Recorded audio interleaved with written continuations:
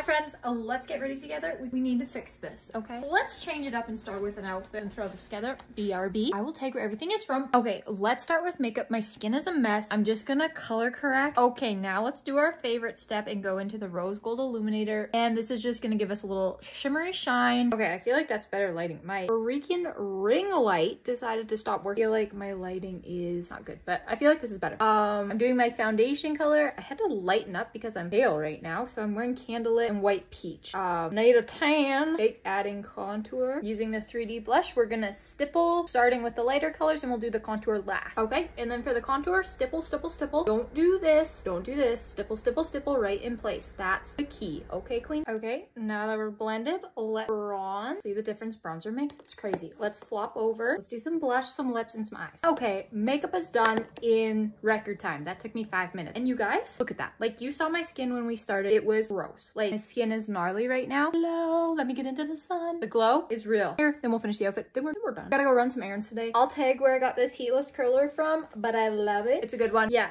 be right back while I never use a curling iron again. You're joking. This is, I, I literally woke up like this. I slept on this hair. Like, get out of freaking, okay, I'm ready. Okay, here's the final fit. I threw on these little Steve Madden boots. These are cute and comfy we're ready to go. Another little close up at the makeup. I hope you guys all have a really good Tuesday and, and